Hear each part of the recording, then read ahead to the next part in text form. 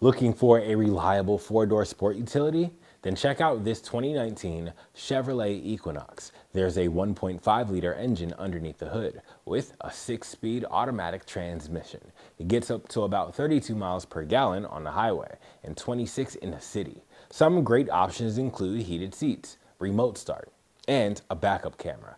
There's also Sirius XM Ready Radio and OnStar Access. With brake assist, traction control, and ABS brakes, you'll have full control over this vehicle. This Equinox has gone through and passed our 172 point inspection, so it's more than ready to hit the road. Try it before you buy it with our free 48 hour test drive today.